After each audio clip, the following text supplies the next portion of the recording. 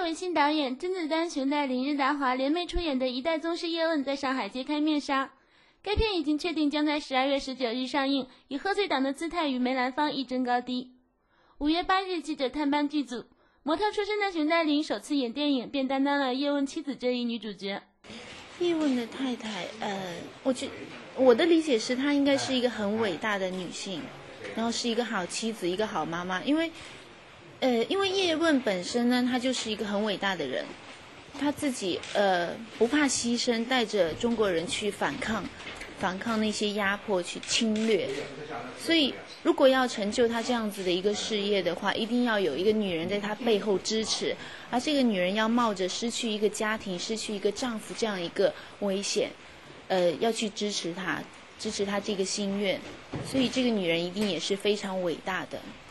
甄子丹常以冷酷暴力的形象展示在荧屏上，而这一次他将温文尔雅出演一代宗师。他坦言这是对自己的一个挑战。啊，其实我的人的修为是很不错的。其实大家可能就是在荧幕上看到一些呃我以前演过的一些人物，呃，可能我演的很还不错吧，所以大家都以为我是以前演过的那些人物。其实我觉得一个演员最主要就是他把观众讲难听一点，就是把观众骗到，能够把他投入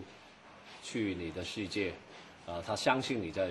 戏里面这个人就是就是成功的事。武打演员拍戏受伤是常事，甄子丹的左眼就在戏中严重受伤，还好现在已经痊愈。虽然危险，但甄子丹不会放弃喜爱的工作。反正是左眼的有一个疤在里面。也是一场戏，我跟十几个人在对打，他们拿了那些呃呃斧头还有刀，那么意外肯定有的，有一个有有一个武行就是一个转身，他往我那边劈，就是刚好